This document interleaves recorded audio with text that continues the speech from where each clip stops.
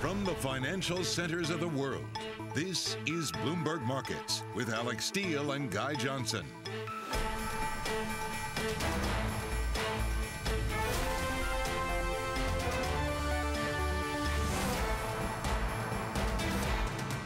Wednesday, the 11th, 3 p.m. in London, 10 a.m. in New York. We're 30 minutes into the trading day in the United States. From London, I'm Guy Johnson, Alix Steel over in New York. Welcome, everybody, to Bloomberg Markets. Alix, equities, fresh record highs, inflation, not so much. Yep. Nope, we didn't get Godot. That was kind of my takeaway from the inflation number. Markets are kind of prep for something to happen and well, nothing happened. So obviously you can see uh, yields pretty much then going nowhere, giving back any of their uh, gains from earlier. Uh, you do have a record high for the S&P, but it's the value trade. It's financials, utilities. It's also materials that are leading the way.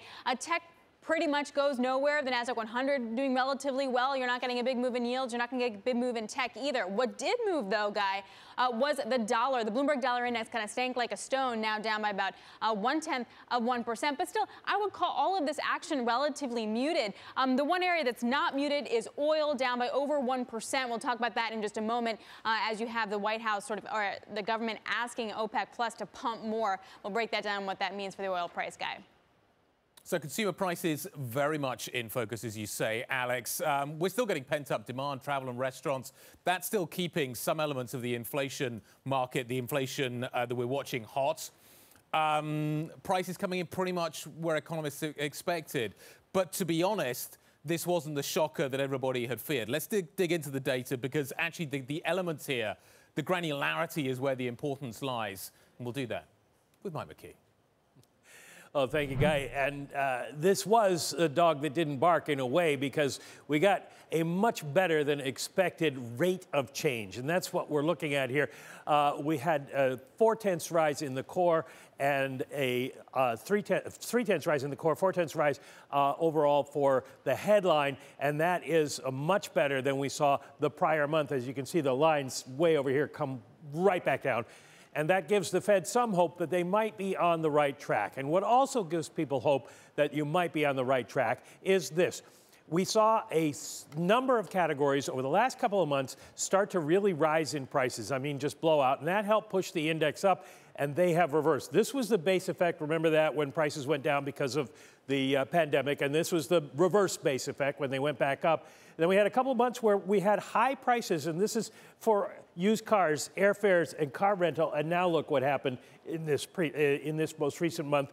They have reversed. So if that's the case, then we're going to see some better news. Now there is some thought that. Uh, we are just in an interregnum that we're mm. going to see prices start rising for things like you mentioned restaurants because they're going to have to pay workers more and we did see an increase in those prices in July does that continue that's the question of course the numbers for a year over year basis are still very high 5.3% is no matter how you slice it better on a monthly basis but not good overall so the fed still has something to be concerned about something to watch but at least and I don't know if you can get this, Eric, but the little kink right there, that gives the Fed some hope. All right, Mike, good stuff. Bloomberg's Michael McKee. What we can learn from this guy is that I absolutely did the right thing by buying my used car in July. Thank you. I just want to say it. It was right to buy Jasper. Jasper. Um, exactly. Okay, uh, let's stick with the whole uh, commodity theme, the uh, price inflation theme. Um, that Biden administration is calling for OPEC and its allies to boost production in an effort to combat rising gasoline prices. In a statement, National Security Advisor Jake Sullivan uh, said that while OPEC Plus recently agreed to production increases, these increases will not fully offset previous production cuts that OPEC Plus imposed during the pandemic until well into 2022. At the critical moment in the global recovery, this is simply not enough. Bloomberg's Washington correspondent Annmarie Hordern has more. Annmarie, is this going to work? it's a very good question. The timing is very interesting, uh, Alix, because we're not due for an OPEC Plus meeting in about 20 days or so, and the group just met. And as they rightfully pointed out in this statement, they have decided to bring back some of that production they had parked during the pandemic by the tune of 400,000 barrels a day in increments. Uh, what is also so interesting about the timing is the fact that this just came hours before the CPI report. And I spoke to Bob McNally, who's a former Bush energy aide, and he said this is the uh, Biden administration under immense pressure domestically at home when it comes to inflation, with the galloping gasoline prices being the most visible for consumers. So this does seem to be like it is a domestic push. One Russian official I spoke to, a high level official, said that it was not polite to get involved in other people's discussions. We are polite people, and that what they see right now is that demand is fully satisfied.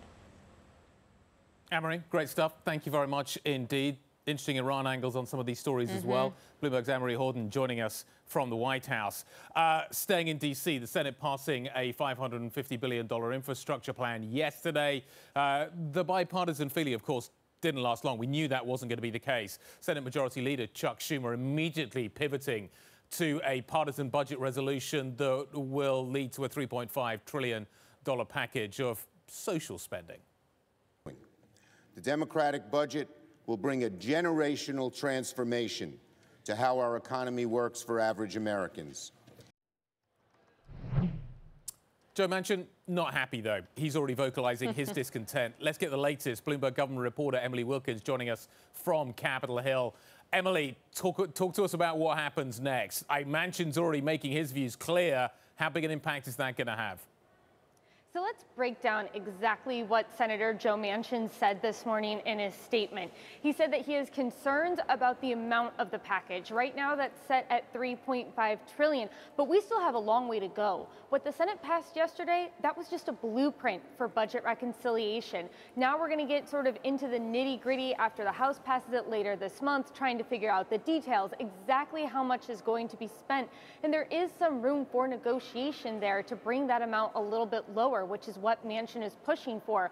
One thing, though, in his statement, and I read it several times and I did not see, is Manchin firmly coming out and saying that he would be voting against a reconciliation package. I mean, we're at the start of a process now. Uh, senators will be working on this throughout until September 15th and possibly even a little bit later, trying to nail down the details.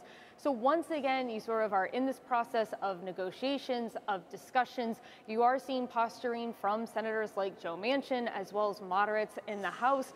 But at the end of the day, no one has come out yet and said firmly that they will be voting against a budget reconciliation. It simply seems at this point that they are going to try to push to make sure that price tag comes down. All right, Emily, thank you very much. Appreciate it. Emily Wilkins, uh, Bloomberg Government. Uh, but, Guy, what I do think this is intensely points out is that we could have trillions of dollars uh, coming over the next eight years for the U.S. economy in many different packages. I mean, that's an enormous amount of money, and that's going to dwarf sort of what the EU recovery fund is going to be, not individual countries, yep. but overall. And you really have to think, even if it goes down to two trillion, what kind of stimulus it's really going to be. Yeah, and you do wonder whether monetary policy is having much of an effect at the moment, particularly on the labour market.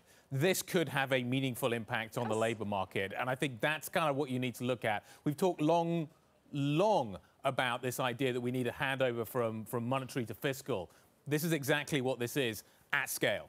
Yes, 100%, even if it's just 2 trillion. Um, anyway, so that debate obviously ongoing. Um, but coming up, it's moderate but pacey inflation. Pacey, I feel like you should have read that tease. Guy's thing is like pacey and crunchy.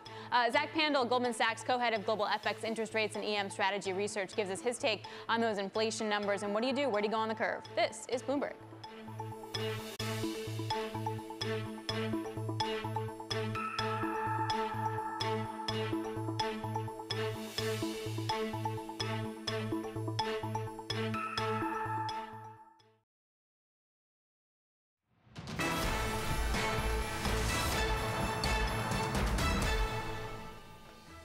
Let's check in on the Bloomberg First Word News. I'm Ritika Gupta. Senate Democrats have opened the way for President Biden's economic agenda. They have passed that $3.5 trillion framework that would expand federal efforts on poverty, the environment, and care for the elderly. It also includes what the Democrats call the biggest tax cuts in history for the middle class. The party line vote was 50 to 49, and it marks the start of months of debate amongst Democratic moderates and progressives over the details. Hackers carried out what is likely the biggest theft ever in the world of decentralized finance. They stole about $600 million in cryptocurrency from a protocol known as Poly Network. The network lets users swap tokens across multiple blockchains. Tens of thousands of people are affected by the hack. Germany's Chancellor Angela Merkel is increasing the pressure on residents to get vaccinated. The government will expand coronavirus testing requirements for non vaccinated people and those tests will no longer be free. Merkel's trying to avoid another lockdown that would put more strain on the economy. Global News 24 hours a day on air and on Bloomberg Quick Take, powered by more than 2,700 journalists and analysts in more than 120 countries. I'm Ritika Gupta. This is Bloomberg. Alix. All right, thanks so much, Ritika. So the news in the morning, CPI moderating in July. On a year-on-year basis, prices still rose to over 5%, but the rate of change is what's slowing. Joining us now is Zach Pandl, Goldman Sachs Global FX Interest Rate and EM Strategy Research co-head. Goldman recently cut their 10-year uh, forecast to 1.6% from 1.9. Zach, is it possible that inflation actually is transitory? Uh, yes, it is possible, and we think it, that it's likely. Now, we want to be careful not to overinterpret any one report. As always, you know, this softer report followed a strong one last month. But we do think that inflation surged on the back of reopening, on the back of fiscal stimulus, and perhaps markets are underappreciating the extent to which inflation is going to decelerate into 2022 as the economy continues to normalize. So we would expect to see more numbers along these lines, and, and if anything, maybe a little bit lower uh, over the next few months, back to a two tenths sort of run rate that we're used to seeing pre COVID, pre the reopening effects. I do think we'll be seeing more of these softer prints over the coming quarters, and inflation will ultimately prove transitory. That, that's certainly our view. Zach, what does that mean for longer duration assets? Central banks, policymakers, governments have thrown everything at this. Trillions and trillions of dollars and euros and yen and pounds, and we're getting transitory inflation. What does that tell us about the long term run rate of, of where rates are likely to be? I think it does suggest that the equilibrium or sort of normal level of rates that we're, we should expect to get used to is you know, still relatively low, not the kind of high three, four, five percent type numbers for Treasury yields that you know maybe are approximate historical average. We are still in a relatively low growth, you know, low demographic growth, low inflation structural world, and we were in that world for you know the 10 years prior to, to COVID. We're not sure that the pandemic has really changed things all that much. So markets are sort of reevaluating things uh, again, and uh, returning to kind of pricing that was very common prior to the pandemic, post the financial crisis, with very low forward rates, particularly low real forward rates. I think in the very distant future, it's possible that those numbers could move higher, especially if fiscal spending continues. But we should probably not expect long dated rates to reset you know, much, much higher in an environment where the global economy is decelerating as the reopening process uh, completes. And as central bank support, quantitative easing is still mm-hmm. ongoing in a lot of places. Right. So, to that point, if the Fed is going to look at these numbers, for example, and if they're right for the doves at least, that inflation is transitory and they kind of keep things going longer than we anticipated, at some point, especially if we get a lot of fiscal impulse uh, from DC, do we get that overshoot of inflation? And if so, what do you think that's going to look like? If we get that, it's probably down the road. So I think investors should be careful to distinguish sort of two different things going on with inflation. You have the reopening effects, which are dominating the numbers uh, today, and then you have potential overheating of the economy. But that second factor is really something that's not likely to materialize until at least the middle of next year and probably beyond. You know, we're still in a place where the labor market has not fully healed. A lot of industries are still running below capacity the US economy is, is not overheating in a conventional cyclical sense. We could get there, as you suggest, more fiscal stimulus, more rapid growth in the economy than, uh, than we are seeing could drive the unemployment rate down faster and lead to more conventional cyclical inflation. But that's really not what we're seeing in the numbers today. I think really that's a debate for the second half of 2022 and beyond. At the moment, it's reopening effects, and we're starting to see those come out. Zach, what is having the dominant influence on pricing right now? The data or what is happening in terms of supply? Like lots of supply this week, huge week for that. I think the yield curve is really dominated by two things. One is the Fed's taper debate and when they're going to get on with normalizing the pace of uh, re- reducing the pace of asset purchases, when that process will wind up. Clearly, that's having a big effect on the shape of the curve it's causing the market to price in a kind of early hike risk premia in 2022. And the other thing I think is global. It's the COVID outbreaks uh, globally. The market you know, is looking at what are substantial outbreaks of the Delta variant in a lot of different uh, markets, including the US, and pricing in COVID tail risks uh, again. So to see the market steepen again, to see rates sell off, it's probably that second piece that we'll be most focused on. When do we start to see these outbreaks ease? When do we mm-hmm. see the mm-hmm. testing hit rates come down? That'll allow the bond market to sell off again. So that's presuming that everything in some ways opens up again and we get everything under control. Something that Guy and I have been playing with over the last couple weeks is the idea of a stay-at-home recovery, which is different than reopening and different than a lockdown. If we're in a stay-at-home recovery kind of situation, with the inflation picture that you outlined, where, where do you want to own on the curve? we still think the front end of the curve is most attractive. You know, very long dated rates, as you were highlighting earlier, are very low, both in the U.S. and globally. We still think it makes it investor makes sense for investors to be underweight or short the very long end of the curve, both the U.S. and, and other markets. The front end of the curve, though, we think is more attractively priced. We don't think the Fed is going to be hiking next year. There still is a decent chance of that priced into the curve, about a one in three chance that they hike next year. So if we had to receive a point on the curve, we still think it's the front end. Central banks probably going to be a little bit slower to tighten than is currently discounted. Back end rates, though, we still think can can back up fairly meaningfully. There seems to be growing dangers in the German economy. China, Delta, we talked about that. How big a gravitational impact are Bunds having in terms of the treasury market right now?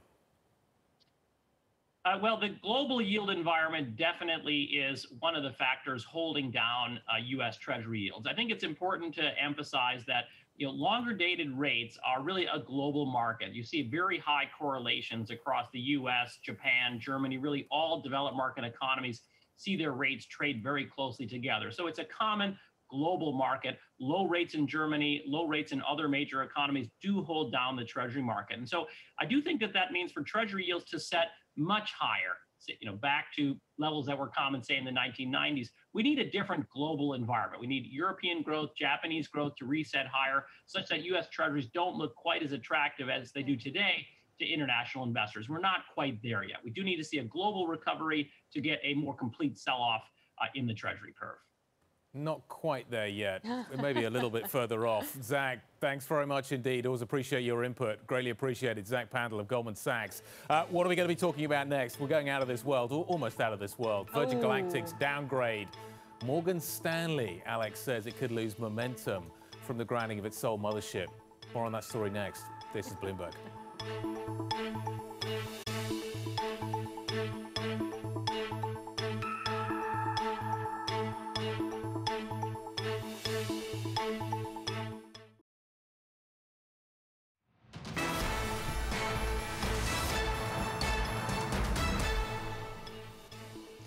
Time for the Bloomberg Business Flash to look at some of the biggest business stories in the news right now. I'm Ritika Gupta. Google reportedly will cut the pay of some employees working from home by up to 25%. That's according to Reuters.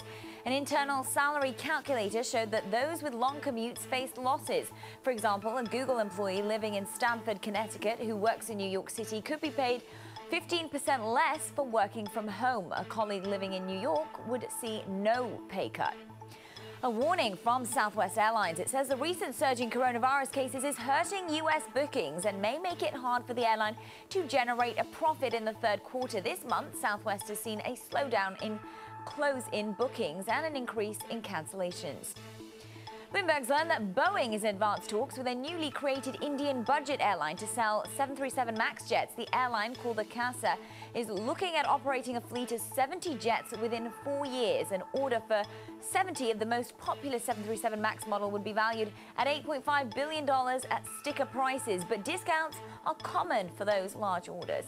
And that is your latest business flash. Alix Guy. Ritika, thank you very much indeed.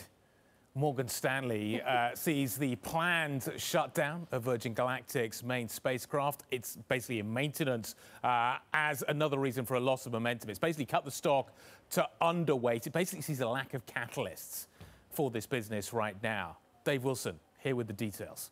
Thanks, Guy. And you're talking about the second sell equivalent rating on Virgin Galactic since it went public by combining with that blank check company in October 2019. The first came at the end of June from Bank of America, which had given the stock uh, an underperform rating uh, after uh, having initially put it at buy. Now, it's been exactly a month since Virgin Galactic uh, put its founder, Richard Branson, uh, into space. And since then, I mean, the shares have really come down. They're off 44%. Uh, and now you have Morgan Stanley weighing in and contributing to that decline.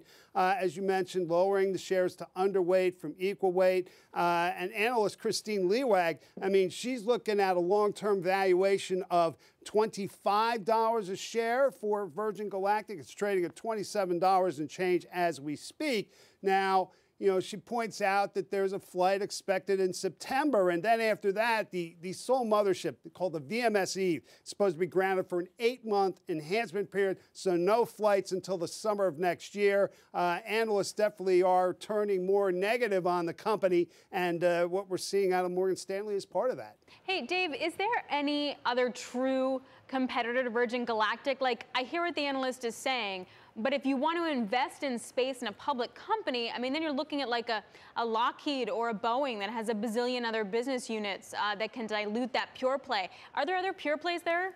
Yeah, not that are public, really. I mean, you think about uh, Jeff Bezos' company, Blue Origin, which maybe is the closest in terms of space tourism. You know, that's Bezos' company. It's closely held. And then you figure in SpaceX, also closely held. Elon Musk's uh, space business. So, you know, there really isn't much of a comparison. And, you know, this is a company, when you look at Virgin Galactic, that is at least trying to sort of dig itself out of a revenue hole, even in the absence of flights so far. And last week, they raised their prices to $450,000 a seat from 250,000. So you're talking about an 80% increase. Oh, when they had this designation for astronauts and researchers, $600,000 a seat. I mean, that feels inflationary. Uh, Dave, thanks very much, uh, Bloomberg's Dave Wilson. So, Guy, also, if we want to stay in like the flying stuff space, uh, Joby is listing today. It's trading. It's up 15%. It's basically a bet on air taxis. The company started about 12 years ago, and it's looking to kind of put an air taxi in the sky by 2024. That looks nice. They got one parked outside the NYSE, I think, uh, which is certainly piquing a lot of people's interests. Um, and potentially, we're heading for a world where you could see a lot of the buildings in New York having VTOL ports basically mm -hmm. put on their roofs. You could go up to the top floor, get on one of these things, get out to JFK, get out to LaGuardia. That's the future, apparently. Yeah, I guess, and there's two things. One is that in terms of manufacturing these things, there are other companies that are going to be doing that as well. So, you know, yeah. how does that actually work for them? And also, you know, regulation. Ouch. Anyway, we're going to talk uh, to the executive chairman of Joby in the next hour, Paul Sciarra. Uh, so don't miss that. Coming up, price pressures on businesses. Some may be easing, some are not. We're going to discuss with the CEO of a company that owns middle market consumer and industrial businesses. Elias Sabo of CODI is next. This is Bloomberg.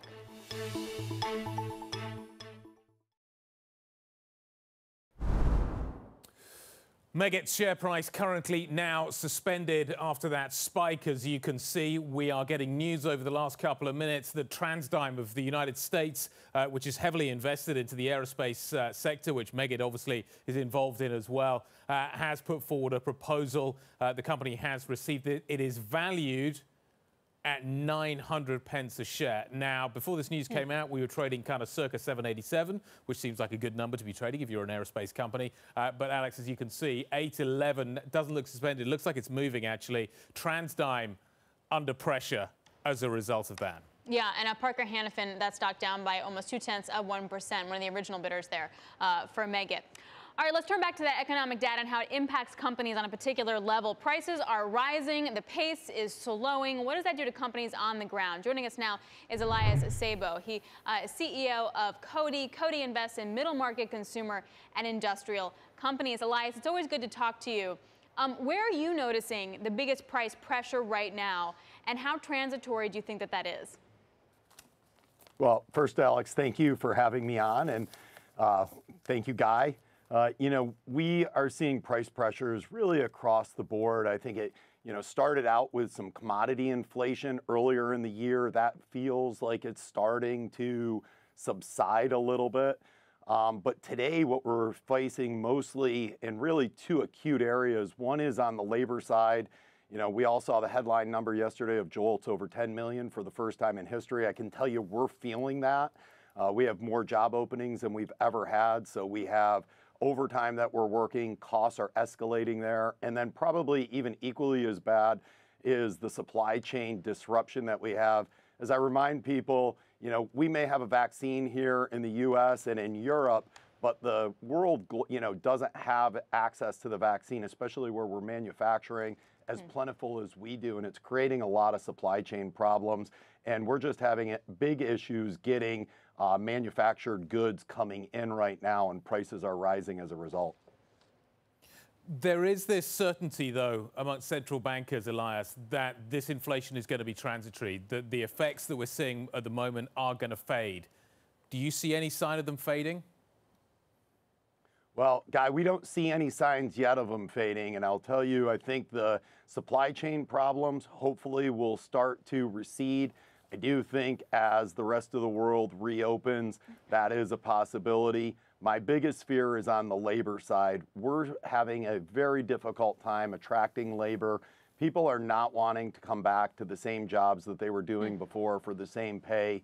Uh, pay is rising quite rapidly, and it feels like you know the pay increases are more sticky part of inflation and that that may not be as transitory as what we're uh, being told by the Fed. Uh, Elias, how much have you had to raise wages? I know it's difficult because you operate in different areas, but do you have an average of how much you've had to do it to get people back into the office or even, quite frankly, to keep them there? Yeah, it's, you know, it, it is different, Alix, by company right now, and it's different by position. Um, so I can't really give you a specific number. I would say, you know, we're pulling out all stops. We're giving signing bonuses in some companies. We're getting referral bonuses to employees. Um, we are making spot bonus payments uh, across our portfolio. So, you know, I don't have an exact number to give you because it does vary and because we have so many different categories. Um, but the, you know, eh, the raise, the rise in wages um, you know, is more than what we've seen on an annual basis probably in the last 12 or 13 years. Wow. Is it that the people coming through the door, and those are incredible numbers, the people coming through the door, there aren't enough of them, or the people coming through the door don't have the skills that you need? Yeah, so I think, Guy, it's really more there's not enough of them right now. Um, you know, because we have job openings across all different functions in our company. It can be white collar jobs, IT jobs are very hard to secure, finance jobs are hard to uh, procure right now, but it's also in warehouse locations and it's in manufacturing locations. So, you know, those are skills that you would think uh, should be, you know, readily available because a lot of those mm-hmm. were uh, displaced during the uh, pandemic. So we're just seeing it so broadly across all of the different job functions. It feels more like there's just a lack of available labor coming mm-hmm. through the door more than a skills mismatch right now. Elias, when you talk about spot bonuses, having to raise wages, et cetera, are you okay with that? Like, have your margins taking a hit? Are you able to, what, what are you able to pass through? What do you have to eat? Yeah, so we're passing through a large majority of all of the costs, Alix. Hmm. I think when you think about our margins, we have the benefit of demand being incredibly strong right now. And so we're getting operating leverage in our business that can absorb and offset some of the rising costs. But at the same time, we have to pass through, you know, a large chunk of these rising costs to protect margins. You know, if we went back into our second quarter, we guided at the end of our first quarter to our investors that we thought there could be some margin pressure. Um, we were largely able to offset that through both price increases and through uh, operating leverage. And our subsidiary management teams just did such an exceptional job. We were able to preserve yeah. our margins, and our Q1 EBITDA margin of 20% carried through to the second quarter. Um, but we're largely passing it through. And I want to, you know, make mention our customers are accepting it and they're accepting it because they're seeing it so broadly throughout all of their vendor base uh, that it's not a surprise to them when they see these price increases coming through. Elias, final quick question. You're not mandating vaccines at the moment. As Delta continues to surge, are you reviewing that? Do you think it could change? Yeah, right now, Guy, we've uh, decided we strongly encourage it first, and we're big proponents that everybody should get a vaccine. Um, we think that it's good for society, obviously. The more people that are vaccinated, we get to herd immunity, obviously, and that will help with killing these uh, variants that are coming along. But we also believe that it's the individual's choice, and we don't want to overstep uh, their personal freedoms in making the decision whether they want to get the vaccine or not.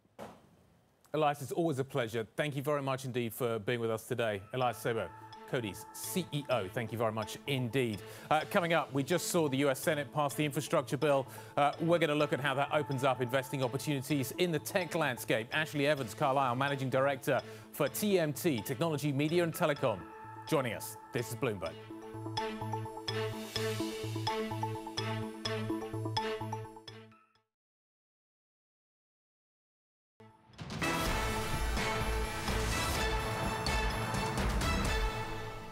Fresh records, US stocks are up, European stocks are up. Um, basically, this on the back of the CPI data that kind of pointed to the idea that maybe actually the inflation rate is going to moderate.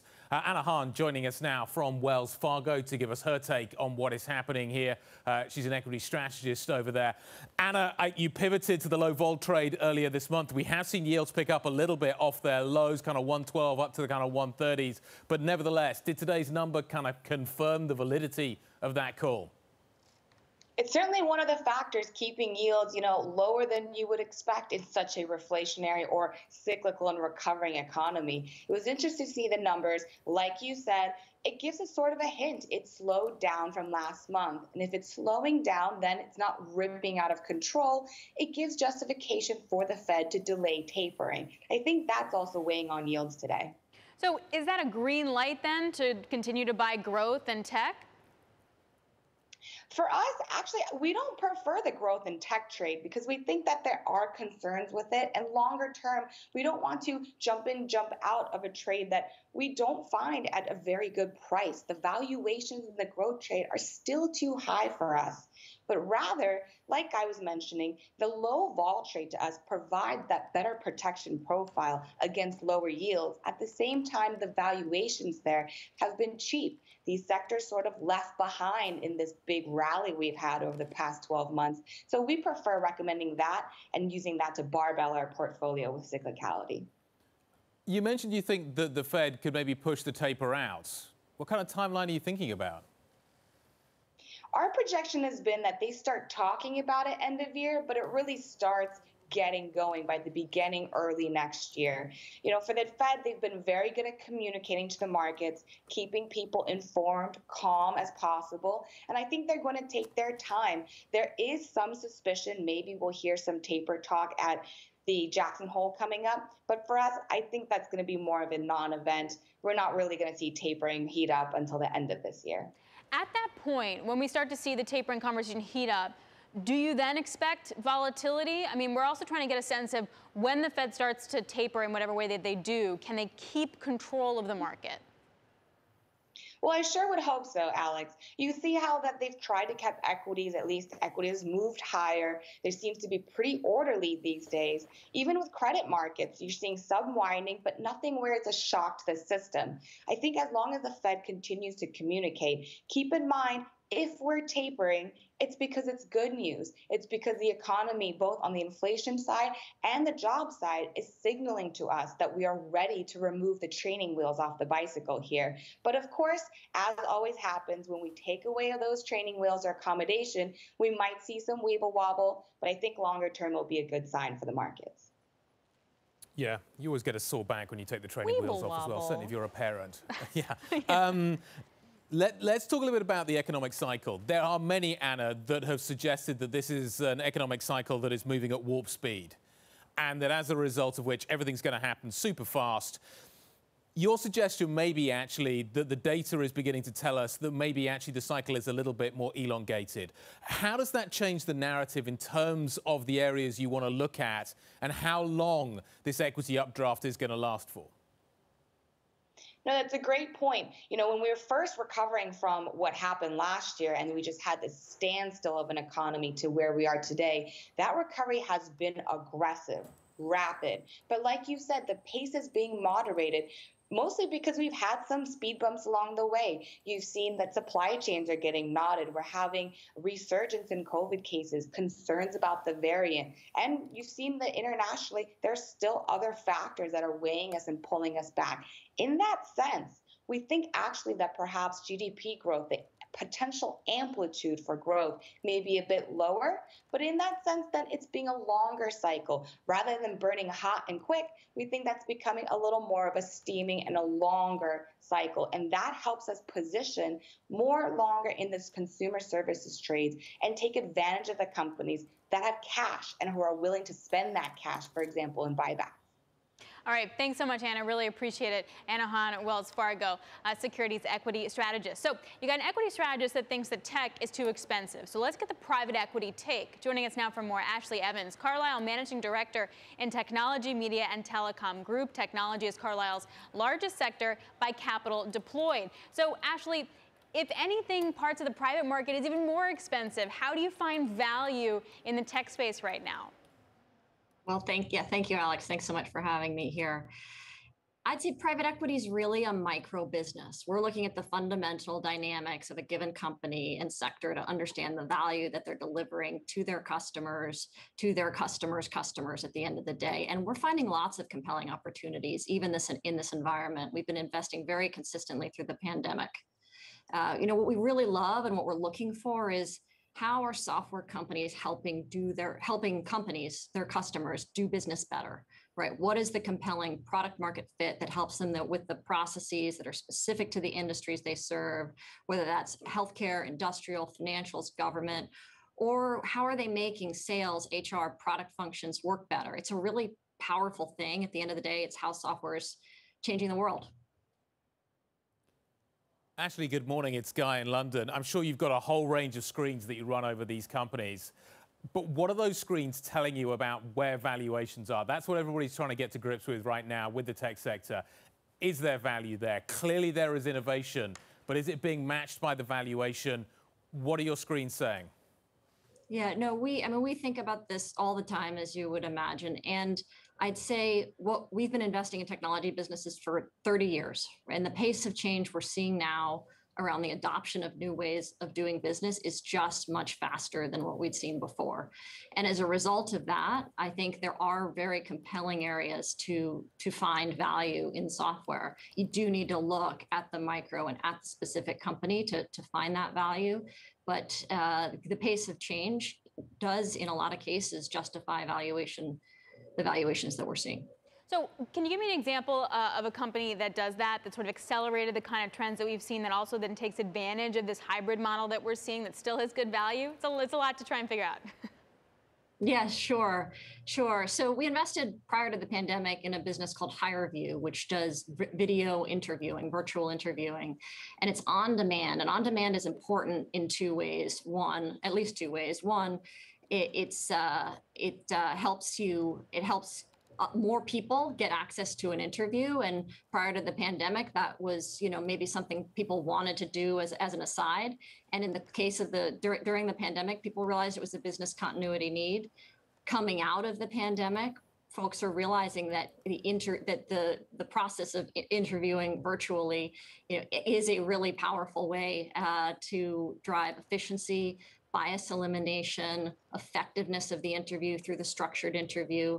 And, uh, and that comp- in that company, HireVue, our interview volumes are up 70% year over year as a result of the labor fluidity Anna was talking about earlier, but, but also, uh, you know, some of the dynamics uh, around adoption. Actually, what is your sense of, of how much has changed as a result of the pandemic and how much has simply been accelerated. Have we seen something new, or is this just a continuation of a series of trends that were already in train?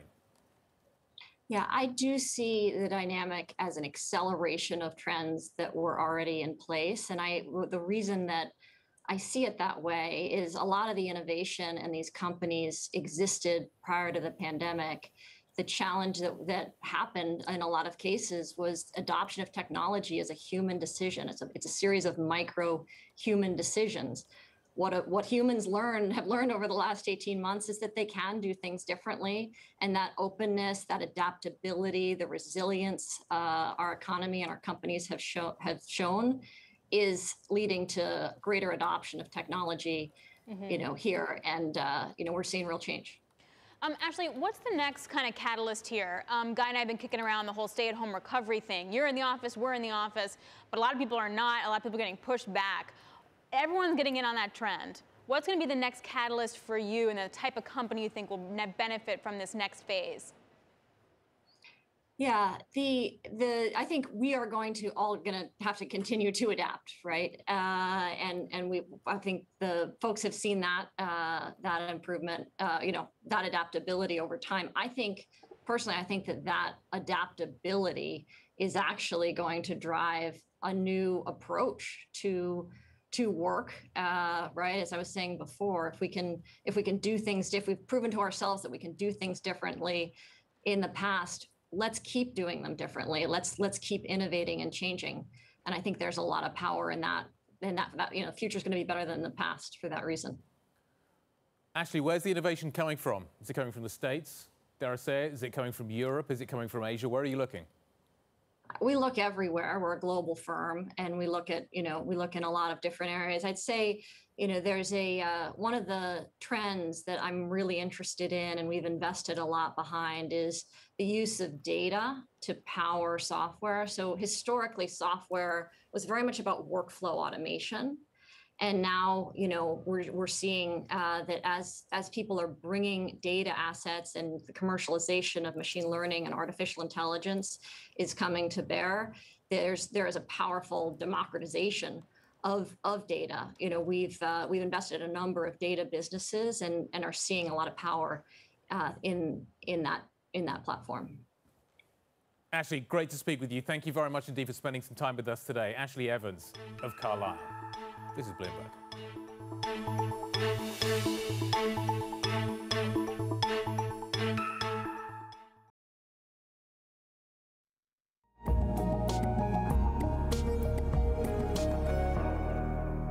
We're not a supermarket. We're not like, you know, this is the flavor, I got one of those flavors for you. So, look, we, we, we've just raised a substantial amount of money. We want to invest it in a disciplined way, doing what we do. It's not all about, you know, a little here, a little there, right? So when we look at SPACs and we, and we say, you could raise 200, and, and by the way, we get the pitch, right? The bankers come to us to pitch it. But it's like, why bother? Why, why are we getting distracted with all this when we've got a pretty good opportunity in front of us here to do what we do? Do you think SPACs are a legitimate vehicle for special situations? Uh, I don't think so. How come? Uh, I, I, I think, I, do you know what I, I'll tell you what I think SPACs are a good, uh, are good for. If you have an investment where some tech investment or something where you can make a lot of money or you can lose it all, right? A SPAC is interesting. Now, if you look at some of our industrial businesses, some of our old economy businesses, the only way a SPAC gets to buy into those is by paying more than a full price. And when you pay more than a full price, hey, uh, it's going to be tough to kind of dig yourself out of that, right? So, so SPACs to invest in distressed deals, special situation deals, generally I'm not saying never. Generally, I just don't see what happens. But if you're going to invest it on something which could be 10x or zero, yeah, I, I, I think, I, I, think maybe there's a role for it. it. That's just not us. It's not us. That was Victor Khosla, Strategic Value Partners founder and CIO, speaking to Bloomberg's Eric Schatzker. So, Guy, he may not be into SPACs and think it's a legit way. I think that Joby might think differently. That stock now listing uh, today after going public via SPAC, uh, doing quite well, and that's all about betting on those flying taxis. Well, I guess that is, this is the ultimate special purpose vehicle, but I guess they want to make it ubiquitous. Nice one. Um, that was that good. that was really about. good. That was really good, by the yeah, way. Yeah, I thought that. Yeah, nice that, work. Yeah that happened by accident. Um, believe you me, not by design. This is what we're talking about. So here's my big question. Mm. Uh, we're going to be speaking to Paul Sciarra of Joby. They're, they're in, they want to scale this. They want to make these things um, basically become as cheap as taking an Uber, as easy to take as an Uber. Uh, it's going to have a range of around 150 miles. Uh, you're going to be able to use them all over the United States as long as the regulators clear it. However, I, battery technology is going to evolve. Everything's going to evolve. But to get these things clear for regulatory for regulatory clearance, and we're looking at a live shot outside the New York Stock Exchange, where we'll be shortly. Is the FAA going to require them to add weight? And how big an impact is that going to have? We will find out in the next hour when we meet the company. Also in the next hour, Mark Dowding, BlueBay Asset Management. We're going to talk CPI next.